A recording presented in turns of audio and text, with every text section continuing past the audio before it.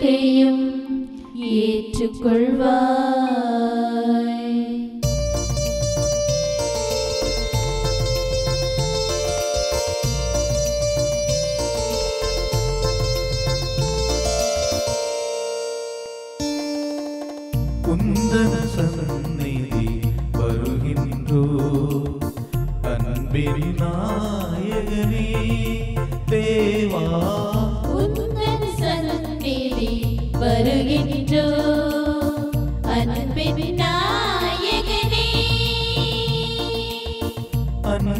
நாங்கள் அரசொன்று அமைக்க.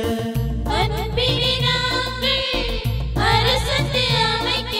ஆதாரம் நீயே அருள் புரிவாயே. உந்தன் சந்நிதி வருகின்றோ. அன்பின் நாயகனே. தந்தை மகன் தூயாவியார் பெயராலே ஆமீன். ஆண்டவர் இயேசு கிறிஸ்துவுக்குள் வாழ்கின்ற அருமையான சகோதர சகோதரிகளை மரியாவிஷன் சார்பாக ஆண்டினுடைய பொதுக்காலம் முப்பத்தி ஒன்றாவது ஞாயிற்றுக்கிழமை இறைவார்த்தை சிந்தனை ஜெபத்திற்காக உங்கள் அனைவரையும் வாழ்த்தி வரவேற்பதில் மகிழ்ச்சி அடைகின்றேன். மரியாவிஷன் சேனல் உங்களுக்கு இறைவார்த்தையை இன்றைய உலகத்தினுடைய சூழ்நிலைக்கு ஏற்றவாறு உங்களுக்கு விளக்கத்துடன் தருகின்றது. எனவே உங்கள் அனைவரையும் வாழ்த்துகின்றேன். அதை கவனிக்கின்றவர்கள் பார்க்கின்றவர்கள் கேட்கின்றவர்கள் விமர்சனங்களை நேரடியாகவும் மற்றும் சேனல் வழியாக சொல்லக்கூடிய அனைத்து நல்ல உள்ளங்களுக்கு நெஞ்சார்ந்த வாழ்த்துக்களை நன்றிகளை தெரிவித்துக் கொள்கிறேன். நீங்கள் அதை பாருங்கள் உங்களின் நண்பர்களுக்கு சொல்லிக் கொடுங்கள். இது பொழுதுபோக்கிற்கான ஒன்று அல்ல மாறாக இறைவனுடைய வார்த்தையை பற்றி சிந்திப்பதற்கான ஒரு வாய்ப்பாக இருக்கிறது. எனவே கொரோனா காலத்தில் தொடங்கப்பட்ட இந்த மரியாவிஷனானது இன்று நிறைய நபர்களை சென்றடைந்து கொண்டே இருக்கிறது. நிறைய பேர்கள் வாழ்த்துகின்றார்கள் பாராட்டுகின்றார்கள். மிகச்சிறப்பாக இருக்கிறது என்று சொல்லுகின்றார்கள். காரணம் இறைவார்த்தையை இன்றைய வாழ்க்கை சூழலில் இன்றைய சமூக சூழலில் இன்றைய அரசியல் சூழலிலே நாம் சிந்திக்கின்றோம். வெறும் மேலோட்டமாக ஒரு விவிலிய பார்வை மட்டும் அல்ல. எனவே இன்றைய இறைவார்த்தைக்கு உங்களை அழைப்பதில் மகிழ்ச்சி அடைகிறேன். இன்றைய இறைவார்த்தையானது மத்திய நற்செய்தி இருபத்தி மூன்றாவது பிரிவிலிருந்து எடுக்கப்பட்டிருக்கிறது. ஒன்று முதல் பதிமூன்று வரையுள்ள இறைவார்த்தைகள் பின்பு இயேசு மக்கள் கூட்டத்தையும் தம் சீடரையும் பார்த்து கூறியது மறைநூல் அறிஞரும் பரிசெயரும் மோசையின் அதிகாரத்தை கொண்டிருக்கின்றனர். ஆகவே அவர்கள் என்னென்ன செய்யும்படி உங்களுக்கு உங்களிடம் கூறுகிறார்களோ அவற்றையெல்லாம் கடைபிடித்து நடந்து வாருங்கள். ஆனால் அவர்கள் செய்வது போல் நீங்கள் செய்யாதீர்கள். ஏனெனில் அவர்கள் சொல்வார்கள் செயல் காட்ட மாட்டார்கள் சுமத்திற்குரிய பழுவான சுமைகளை கட்டி மக்களின் தோள் மேல் தோளில் அவர்கள் வைக்கிறார்கள். ஆனால் அவர்கள் தங்கள் விரலால் தொட்டு அசைக்கக்கூட முன் வர மாட்டார்கள். தாங்கள் செய்வதெல்லாம் மக்கள் பார்க்க வேண்டுமென்றே அவர்கள் செய்கிறார்கள். தங்கள் மறைநூல் வாசக பட்டைகளை அகலமாக்குகிறார்கள். அங்கியின் குஞ்சங்களை பெரிதாக்குகிறார்கள். விருந்துகளில் முதன்மையான இடங்களையும் தொழுகை கூடங்களில் முதன்மையான இருக்கைகளையும் விரும்புகின்றார்கள். சந்தை வெளிகளில் மக்கள் தங்களுக்கு வணக்கம் செலுத்துவதையும் ராபி என அழைக்கப்படுவதையும் விரும்புகிறார்கள். ஆனால் நீங்கள் ரபி என அழைக்கப்பட வேண்டாம். ஏனெனில் உங்களுக்கு போதகர் ஒருவரை நீங்கள் யாவரும் சகோதர சகோதரிகள். இம்மண்ணுலகில் உள்ள எவரையும் தந்தை என நீங்கள் அழைக்க வேண்டாம். ஏனெனில் உங்கள் தந்தை ஒருவரை அவர் விண்ணகத்தில் இருக்கிறார். நீங்கள் ஆசிரியரும் அழைக்கப்பட வேண்டாம். ஏனெனில் உங்கள் ஏனெனில் கிறிஸ்து ஒருவரே உங்கள் ஆசிரியர். உங்களுக்கு உங்களுள் பெரியவர் உங்களுக்கு தொண்டராக இருக்க வேண்டும். தம்மை தாமை உயர்த்துகிறவர் எவரும் தாழ்த்த பெறுவர். தம்மை தாமை தாழ்த்துகிறவர் எவரும் உயர்த்த பெறுவர் என்றார். கிறிஸ்து வழங்கும் நற்செய்தி கிறிஸ்துவை உமக்கு புகழ். ஆண்டவர் இயேசு கிறிஸ்துவுக்குள் பிரியமான என் சகோதர சகோதரிகளை ஆண்டருடைய பொது காலம் ஒரு நல்ல ஒரு மனநிலையை நமக்கு எடுத்து சுட்டி காட்டுகின்றது மற்ற நற்செய்தியிலே கடந்த நாட்களில் நாம் நிறைய ஓமைகளை பற்றி சிந்தித்தோம். ஓமைகளுக்குள் பொழி பொதிந்திருக்கின்ற மறைந்திருக்கின்ற உண்மைகளை பற்றி நாம் சிந்தித்திருக்கிறோம். அவைகள் அனைத்துமே இறைவார்த்தையினுடைய தன்மைகளை இறையாட்சியினுடைய செயல்பாடுகளை நமக்கு விளக்கக்கூடிய ஒன்றாக இருக்கிறது. அப்போ இன்னைக்குள்ள இறைவார்த்தையானது ஆண்டவர் இயேசு வாழ்ந்த காலகட்டத்தில் இருந்த சமூக சூழ்நிலை அரசியல் சூழ்நிலை சமய சூழ்நிலை இவைகளுடைய பின்னணியிலிருந்து நாம் பார்க்க கடமைப்பட்டிருக்கிறோம். எனவே மனிதன் தோங்கிய காலகட்டத்தில் அதிகாரம் என்பது இல்லை அடிமை தலைகள் இல்லை பணக்காரன் என்பது இல்லை ஏழை என்பவன் இல்லை ஏற்ற தாழ்வுகள் இல்லை. எல்லாரும் சமமாக வாழ்ந்தார்கள் என்று நமக்கு வரலாறு சொல்லுகிறது ஆனால் படிப்படியாக மனிதர்கள் நிலத்தை ஆக்கிரமிக்கின்ற பொழுது பெண்களை அடிமைத்தலைக்குள் கொண்டு வருகின்ற பொழுது ஆண்டான் அடிமை என்று சொல்லுகின்ற சிந்தனைகள் வருகின்ற பொழுது அதிகாரத்தில் இருப்பவன் அதிகாரத்தில் இல்லாதவன் என்று சொல்லுகின்ற ஒரு சமூக அமைப்புக்குள் செல்லுகின்ற பொழுது அரசர்கள் ஆளப்படுகின்றவர்கள் என்று சொல்லுகின்ற சிந்தனைக்குள் வருகின்ற பொழுது அமைச்சர்கள் அன்றாடம் காட்சிகள் என்று சொல்லுகின்ற சிந்தனைக்குள் வருகின்ற பொழுது அதிகாரம் தூக்கி பிடிக்கின்றது. அதிகாரம். மனித சமுதாயத்திலே அதிகாரம் என்பது பல சூழ்நிலைகளில் உருவாக்கப்படுகிறது. அதிகாரம். எனவே சமூகத்தில் இந்த அதிகாரம் என்று சொல்லக்கூடியதில் மத தலைவர்கள் சமூக தலைவர்கள் அரசியல் தலைவர்கள் என்று சொல்லி பல்வேறு நபர்கள் உருவாகின்றார்கள். அதுவும் குறிப்பாக தொழில் புரட்சி வந்த பிறகு தொழில் புரட்சியானது ஆயிரத்தி எழுநூற்றி எண்பத்தி ஒன்பதில் ஃப்ரெஞ்சில் தொடங்கியது. அந்த புரட்சி வந்த பிறகு ஃப்ரெஞ்சு புரட்சிக்கு பிறகு தொழில் புரட்சி பல்வேறு புரட்சிகள் வந்து உலகத்தினுடைய தன்மையை அது மாற்றுகிறது. முதலாளி தொழிலாளி. உழைக்காதவன் உழைக்கின்றவன். ஆண்டான் அடிமை என்று சொல்கின்ற. உழைக்கின்ற வர்க்கம் என்று சொல்கின்ற. ஒரு வர்க்கமானது உருவாக்கப்படுகிறது. எல்லோரும் முன்னாடி உழைத்தார்கள். தொடக்க கட்டத்தில் எல்லோரும் பகிர்ந்து கொண்டார்கள். எல்லோரும் சமமாக இருந்தார்கள். சுதந்திரம் சமத்துவம் சகோதரத்துவம். அது பிரெஞ்சு புரட்சியினுடைய மிக முக்கியமான ஒரு அம்சமாக இருந்தது. ஏன்? சுதந்திரம் இல்லாமல் நிறைய பேர்கள் இருந்தார்கள். சுதந்திரம் மறுக்கப்பட்டவர்களாக நிறைய பேர்கள் இருந்தார்கள். சமத்துவம் இல்லாமல் நிறைய பேர்கள் அமுக்கப்பட்டவர்களாக அடக்கப்பட்டவர்களாக ஒடுக்கப்பட்டவர்களாக அடிமைகளாக கருதப்பட்டார்கள். அது ஒரு சகோதரத்துவம் என்று சொல்லக்கூடியது பிரதர்ஹுட் என்று சொல்லக்கூடியது தோழமை உணர்வு என்று சொல்லக்கூடியது அந்த கட்டத்திலே குறைந்திருந்தது. எனவேதான் நாம் எல்லோரும் சகோதரர்கள் என்று சொல்கின்ற அடிப்படையில் ஆண்டவர் இயேசு பேசுகின்றார். அருமையாக எனவே ஆண்டவர் இயேசு வாழ்ந்த காலகட்டத்தில் இவையெல்லாம் இன்னும் அதிகமாக இறுகி போயிருந்த காலகட்டமாக இருந்திருக்க வேண்டும். சமய தலைவர்கள் ஒரு புறத்திலே மக்களை ஏமாற்றி கொண்டிருந்தார்கள்.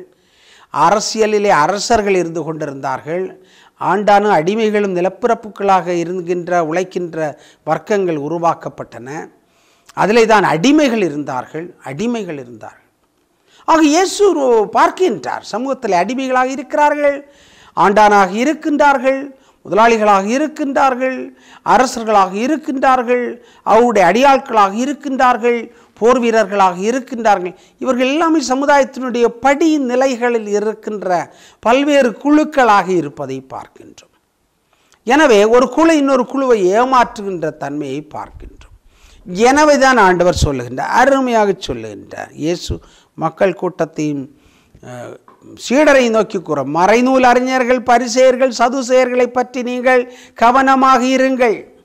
நிறைய காரியங்களை நன்றாக சொல்லித் தருவார்கள் நன்றாக போதிப்பார்கள் முச்சந்திகளிலே நின்று போதிப்பார்கள் ஆலயங்களில் நின்று அருமையான பீடங்களுக்கு மேல் நின்று போதிப்பார்கள் பிரசங்க தொட்டிகளில் இருந்து பிரசங்கிப்பார்கள். எல்லோரும் பாராட்ட வேண்டும் என்று நினைப்பார்கள். அங்கிகளெல்லாம் அழகாக தொங்கிக் கொண்டே இருக்கும். இன்றும் அழகான அங்கிகளை போட்டுக்கொண்டு திரிகின்ற ஆயர்களை நாம் பார்க்கின்றோம். எல்லா திரு அவைகளிலும் பார்க்கின்றோம். எக்ஸ்ட்ரா ஃபிட்டிங் எக்ஸ்ட்ரா ஃபிட்டிங் தொங்கிக் கொண்டே இருக்கும். அது எவ்வாறு வருகிறதோ அந்த அளவிற்கு அதிகமான ஒரு மதிப்பை கொடுப்பதாக நாம் நினைத்து கொள்கிறோம். நினைத்து கொள்கிறோம். கத்தோலிக்க திருவாவையில் பல்வேறு குழுக்கள் இருக்கின்றன. அதில் சில குழுக்கள் சாரிகளையெல்லாம் சுற்றி கொள்ளுகிறார்கள். குஞ்சங்களையெல்லாம் இப்பொழுதும் போடுகிறார்கள். பெரிய பெரிய அழகான வேலைப்பாடுகள் நிறைந்த உடைகள் திரு உடைகள் எல்லாம் பயன்படுத்தப்படுகின்றன. ஒவ்வொரு கலாச்சார பின்னணியில் வருகின்ற ஒவ்வொரு சபையும் அதனுடைய கலாச்சாரத்தில் உள்ள ஆடம்பர உடைகளை எல்லாம் உடுத்துவதை பார்க்கிறோம். அதனுடைய அடிப்படையிலேயே மாதாவுக்கு உடைகள் உடுத்துகின்றோம் இயேசுவுக்கு உடைகள் உடுத்துகின்றோம் குழந்தை இயேசுவுக்கு உடைகள் உடுத்துகின்றோம். எவ்வளவோ பாருங்கள். அது மட்டுமில்லை அதை கொண்டு செல்கின்ற தேர்களிலே தங்கத்தால் பட்டைகளை ஒட்டுகின்றோம். இயேசு வாழ்ந்த காலகட்டத்தில் பட்டைகளிலே அங்கிகள் உருவாக்கினார்கள். இது பட்டைகளிலே தங்க தேர்களை உருவாக்குகின்றார்கள். வெளிநாடுகளிலிருந்தெல்லாம் தங்க தேருக்கான பட்டைகள் வரவழைக்கப்படுகின்றன என்று சொல்லப்படுகிறது. ஒரு கோடிக்கும் மேலாக அதற்கான செலவுகள் ஆகிறது என்று சொல்லப்படுகிறது. எனவே ஆண்டவர் இயேசு அந்த காலத்தில் இந்த காரியங்களை பார்க்கிறார் இந்த மறைஞ்சொல் அறிஞர்கள் எல்லாம் மக்களை ஏமாற்றுகிறார்கள். இன்றும் பல இடங்களிலே கோவிலுடைய சொத்துக்கள் சுரண்டப்படுகின்றன சூறையாடப்படுகின்றன. காணிக்கையானது அங்கிருந்து அபகரித்து விடுகிறார்கள். கோயில் சொத்துக்களை அபகரிக்கின்றார்கள். அது ஒரு பதவியாக இருக்கிறது. அது ஒரு அதிகாரமாக இருக்கிறது. அது ஒரு அந்தஸ்தாக இருப்பதை பார்க்கிறோம். தமிழக அரசுக்கும் பல்வேறு சமய தலைவர்களுக்கு இப்பொழுது சண்டை நடந்து கொண்டிருக்கிறது. என்னவென்றால் தமிழக அரசு ஏன் கோயில்களிலே தலையிடுகிறார்கள் என்று சொல்லக்கூடியது. கோயில்களிலே தலையிடாமல் இருந்தால் இவர்களுக்கு எல்லாத்தையும் சுருட்டி கொண்டு சென்று விடலாம். தனியார் மயமாக்கி விடலாம். ஏற்கனவே கடவுளையே தனியார் மயமாக்கி விட்டார்கள் மத தலைவர்கள். எனவேதான் அவர்கள் மதமா தனியாக தனியார் மயமாக்கப்பட்ட கோவில்களிலே அவர்கள் விருப்பம் போல செயல்படுகிறார்கள். கடவுளையும் தனியார் மயமாக்கி விடுகிறார்கள். கடவுளையே விற்கின்றார்கள். கடவுளை விற்கின்ற பொழுது கடவுளுக்கு மேலாக அவர்கள் தங்களை உருவாக்கி கொள்ளுகிறார்கள். இதுதான் ஆண்டவர் இயேசு கிறிஸ்துவுடைய காலகட்டத்திலும் நடந்தது. இன்றும் நடந்து கொண்டே இருக்கிறது. பல்வேறு அரசியல் விழிப்புணர்வுகள் பல்வேறு அறிவியல் புரட்சிகள் பல்வேறு கலாச்சார மாற்றங்கள் எவ்வளவு மனிதனுடைய சிந்தனையில் மாற்றங்கள் வந்திருக்கிறது. ஆனால் ஆனால் மனிதன் கடவுளுடைய பெயரால் ஏமாற்றப்படுகிறான். இந்த சூழ்நிலையில்தான் ஆண்டவர் சொல்லுகின்றார். பணிவிடை செய்வதற்கு பதவிகள் தேவையில்லை. பதவிகள் தேவையில்லை. சார்லி சாப்ளினுடைய வாழ்க்கை வரலாற்றை படித்த பொழுது அவர் அருமையாக சொல்லுகிறார். அவர்தான் ஹிட்லர் என்று சொல்லுகின்ற நகைச்சுவை படத்தை எடுத்திருக்கிறார். நீங்கள் பார்த்து கொள்ளுங்கள். அதில் அருமையாக சொல்லுகிறார். என்னவென்று சொன்னால் பணிவிடை செய்ய வேண்டும் என்று சொன்னால் பதவிகள் தேவையில்லை. பதவிகள் தேவையில்லை. அதிகாரம் தேவையில்லை. அந்தஸ்துகள் தேவையில்லை. இயல்பாக இருந்து கொண்டே பணிவிடைகளை செய்யலாம். பணிவிடை செய்கிறோம் என்று சொல்கின்ற பொறுப்பிலே வருகின்றவர்கள் கொஞ்சம் கொஞ்சமாக அதிகாரத்தினுடைய படிக்கட்டுகளில் ஏறுகின்றார்கள் பயணிக்கின்றார்கள். மற்றவர்களை விட தங்கள் உயர்ந்தவர்கள் என்று சொல்லுகின்ற சிந்தனைக்குள் புகுந்து விடுகிறார். அங்கேதான் ஆபத்து ஏற்படுகிறது. அவ்வாறு சிந்திக்கின்ற பொழுதுதான் கடவுளை விட்டுவிட வேண்டும் என்று நினைக்கிறார்கள். கடவுளை விற்றுவிடுகிறார்கள் மக்கள் கடவுளை வாங்க வேண்டும். எல்லாவற்றையும் பொருளாதார ரீதியிலே மாற்றி விடுகிறார்கள் எனவேதான் மதம் என்று சொல்லக்கூடியது ஒரு பொருளாதார பண்டமாக மாறிவிடுகிறார். பொருளாதார பண்டமாக மாறி கடவுள் ஒரு பொருளாக மாற்றப்படுகிறார். அவரை வினோ வினோகிக்கின்றோம் அவர் விற்கின்றோம். அதை வாங்குகின்றார்கள் மக்கள் காசு கொடுத்து வாங்குகின்றார்கள். எதற்காக? மோட்சம் சென்றுவிட வேண்டும் என்பதற்காக. ஆனால் மதவாதிகளுக்கு தெரியும் அவர்கள் மக்களை ஏமாற்றுகிறார்கள் என்று? எனவே இன்றைய இறைவார்த்தையை சிந்தித்து பாருங்கள். நீங்கள் மறைநூல் அறிஞர்களைப் போன்று இருக்க வேண்டாம். மற்றவர்கள் புகழ வேண்டும் என்று நீங்கள் கருதக்கூடாது. முச்சந்திகளிலே நின்று கொண்டு அவர்கள் எல்லாதோ எதெல்லாமோ சொல்லுகிறார்கள் கடவுளை பார்த்து ஜெபிப்பதாக நடிக்கின்றார்கள். இன்றைய சமூகத்திலே படித்தவனுக்கு மதிப்பில்லை என்று சொன்னாலும் நடிக்கின்றவனுக்கு அதிகமான மதிப்பு இருப்பதை பார்க்கின்றோம். நடிக்கின்றோம் எனவே தான் நடிகைகள் எல்லாரும் இந்த அரசியலிலே வந்து கொண்டே இருக்கிறார்கள். பாராளுமன்றத்திலே படித்தவர்கள் வர வேண்டும் நாட்டை நடத்த திறமை உள்ளவர்கள் வர வேண்டும். ஆனால் இன்று படித்தவர்கள் அல்ல நடிக்கின்றவர்கள் வந்து கூட்டம் கூட்டமாக ஏறிக்கொண்டிருக்கிறார்கள். எதற்காக? மக்களை ஏமாற்றுவதற்காக. ஆக ஆண்டவர் இயேசு கிறிஸ்துவுக்குள் அன்பான சகோதர சகோதரிகள் மற்றும் முப்பத்தி மூன்றாவது ஞாயிற்றுக்கிழமை கொடுக்கின்ற சிந்தனையை நாங்கள் சிந்தித்து பார்க்க வேண்டும். நான் என்னுடைய மனதில் பணிவிடை செய்வதற்கு சிந்திக்கின்ற பொழுது பணத்தை மையமாக வைத்து நான் சிந்திக்கின்றேனா? இல்லை அதிகாரத்தை மையமாக வைத்து நான் சிந்திக்கின்றேனா? இந்த அதிகாரம் அதிகமாக கொஞ்சம் கொஞ்சமாக உடலில் ஏறி மூளைக்கு செல்கின்ற பொழுது அதிகார வெறியாக மாறுகிறது. சிலர் குடித்து போதையிலே மயங்கி விடுகிறார்கள். சிலர் படித்து போதையிலே மயங்கி விட சிலர் அதிகாரத்திலே மயங்கி விடுகிறார்கள். அந்த அதிகார பார்வையானது கண்களை மறைத்து விடுகிறது. ஆண்டவர் இயேசு கிறிஸ்து அதில் எச்சரிக்கையாக இருக்க வேண்டும் என்று தன்னுடைய சீடர்களுக்கு சொல்லிக் கொடுக்கின்றார். எனவே சாப்ளின் சொல்லுகின்றார் சார்லி சாப்ளின் பணியுடை செய்வதற்கு பணம் தேவையில்லை அதிகாரம் தேவையில்லை. ஆண்டவர் இயேசு கிறிஸ்து என்ன சொல்கிறார்? நீங்கள் பெரியவன் என்று நினைத்தால் பணிவிடை செய்யுங்கள். மற்றவர்களை அடக்கி ஆள வேண்டாம் ஏமாற்ற வேண்டாம். இயல்பாக அவர்கள் இருந்துவிட்டு போகட்டுமே என்று ஆண்டவர் சொல்லுகின்றார். எனவே மற்ற நற்செய்தி கொடுக்கின்ற அருமையான சிந்தனைகளை நாம் எடுக்க வேண்டும். மற்றவர்கள் உங்களை தந்தை என்று அழைக்க வேண்டாம். அருள் தந்தை பேரருள் தந்தை பேரருள் அருள் தந்தை. என்று போடுகின்ற சூழ்நிலையிலே நாம் இருக்கின்றோம். அது என்ன வித்தியாசம் அது? அருள் தந்தை. நான் எல்லாம் பொதுவாக சொல்லுவேன் அருள் தந்தை என்று போடாதீர்கள். பணியாளர்கள் என்று போடுங்கள். அதை மக்கள் விரும்புவதில்லை. மக்களுக்கும் தந்தை என்று அழைக்க வேண்டும் பேரருள் தந்தை என்று அழைக்க வேண்டும் பேராயர் என்று அழைக்க வேண்டும் ஆயிரம் என்று அழைக்கப்பட வேண்டும் என்று சொல்லுகின்ற விதத்தில் பல்வேறு பட்டங்களை கொடுத்து மக்களை வசப்படுத்துகின்றன பல்வேறு காரியங்களை திருச்சபைக்குள் இருபத்தி ஒன்றாவது நூற்றாண்டாகி இந்த காலகட்டத்திலும் பார்க்கின்றோம். அப்படி என்று சொன்னால் இத்தனை ஆண்டுகளாக ஆண்டவர் இயேசு கிறிஸ்துடைய இறைவார்த்தையை பற்றி நாம் அதிகமாக முக்கியமாக எடுத்துக்கொள்ளவில்லை என்று அர்த்தமாக இருக்கின்றது. எனவே இவ்வாறு வருகின்ற பொழுது பெரிதாக்குகின்ற பொழுது ஹீரோவாக மாற்றப்படுகிறார்கள். ஹீரோ. அப்போ அதுக்குள்ள அதிகாரம் வருகிறது அதற்குள் அதிகாரம் வருகின்ற பொழுது மற்றவர்களை ஏமாற்ற தொடங்குவார்கள். இதுதான் உண்மையாக இருக்கிறது. கடவுளை கடவுளுக்கு மாற்றாக கடவுளாக கடவுளை விற்கின்றவர்களாக வாங்குகின்றவர்களாக பார்ப்பதை பார்க்கிறோம். உயர்ந்தவன் என்ற உள்ளம் என் சிந்தனை நம்முடைய மனதிலே வரக்கூடாது. வரக்கூடாது வருவது தவறான ஒன்றாக இருக்கும். வந்துவிட்டோம் என்று சொன்னால் மற்றவர்களை அடக்க வேண்டும் ஒடுக்க வேண்டும் ஏமாற்ற வேண்டும் என்று சொல்லுகின்ற சிந்தனைகள் ஏற்படும். பொய் சொல்ல வேண்டும் மூட்டை மூட்டையாக லாரி லாரியாக தண்டவாளம் தண்டவாளமாக ரயில் பட்டிகளிலே கொண்டு செல்கின்ற அளவிற்கு பொய்களை சொல்ல வேண்டியிருக்கும். பொய்களை பிரதமர் எத்தனை பொய் சொன்னார் என்று புத்தகங்களிலே வெளியிடுகிறார்கள் இப்பொழுது. வாயெடுத்தா பொய். பொய் பொய் பொய் பொய். பொய்யிலே பிறந்து பொய்யிலே வளர்ந்து பெரியவர்களாக மாறும் மக்கள் ஏமாந்தும் போகின்றார்கள். அதுதான் பெரிய ஆச்சரியமாக இருக்கிறார் தன்னைத்தானே உயர்த்தி சினிமா பாணியிலே பெரியவர்களாக மாற்றி தங்களை பிரகடனப்படுத்துகின்ற பொழுது விளம்பரப்படுத்துகின்ற பொழுது ஆண்டவர் சொல்லுகிறார் கவனமாக இருங்கள் என்று. இதுதான். எனவே உண்மையான ஜெபம் உண்மையான பக்தி உண்மையான இறைவேண்டல் உண்மையான கடவுள் பயம் என்று சொல்லக்கூடியது உள்ளத்தில் இருக்க வேண்டும். மற்றவர்களுக்கு பணிவிடை செய்வதில் மகிழ்ச்சி காண வேண்டும். அதற்கு மாறாக மற்றவர்களை ஏமாற்றி பணம் சம்பாதிக்கின்ற பொருட்களை ஈட்டுகின்ற நிலத்தை வாங்குகின்ற பல்வேறு நிறுவனங்களை உருவாக்குகின்ற பல்வேறு நிறுவனங்களை உருவாக்குகின்ற மனிதர்கள் எல்லாம் இன்று சிக்கலிலே இருப்பதை பார்க்கின்றோம். செந்தில் பாலாஜிக்கு தம்பி முந்நூறு கோடியில் வீடு கட்டுறானா? முந்நூறு கோடி! ஒரு கோடி ரெண்டு கோடி பத்து கோடி நூறு கோடி முந்நூறு கோடியில் அப்படிப்பட்ட வீடு கட்டுவதற்கு அவசியமா? இந்த பணமெல்லாம் எங்கிருந்து வந்தது என்ப கேள்விகள் இருக்கின்றன. ஜெகத் ரட்சகனை பற்றியெல்லாம் இப்போ பத்திரிகைகளே வந்து கொண்டிருக்கிறார். ஏகப்பட்ட நிறுவனங்கள். ஏகப்பட்ட நிறுவனங்கள். இந்த கட்சியில் மட்டுமல்ல எல்லா கட்சியிலும் இப்படித்தான் இருப்பதை பார்க்கின்றோம் பெரும்பாலும் பார்க்கின்றோம்.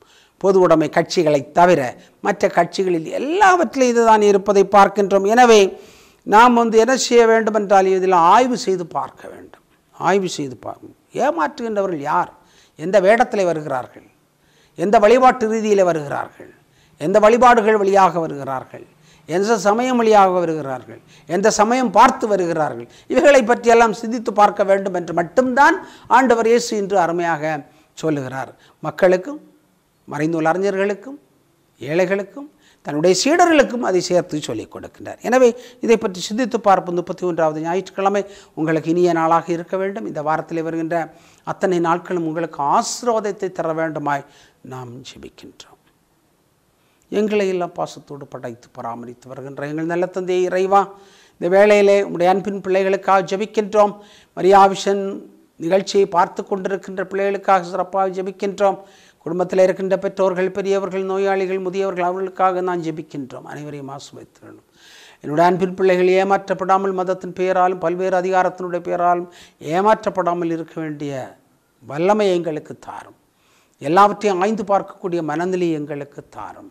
எங்களுக்கு நல்ல அறிவை கொடுத்திருக்கிறேன். நாங்கள் மற்றவர்களுடைய பசப்பு மொழிகளிலே மயங்கி விடக்கூடியவர்களாக மாறாமல் உங்களுடைய இறை வார்த்தையை அழகாக சிந்தித்து தியானித்து செயல்படுத்துகின்ற ஆற்றலை எங்கள் ஒவ்வொருவருக்கும் தந்து வழி நடத்த வேண்டுமாய் எங்கள் ஆண்டவரும் திருமகனுமாகிய இயேசு கிறிஸ்து வழியாக மை பார்த்து மன்றாடுகிறோம். ஆமீன்.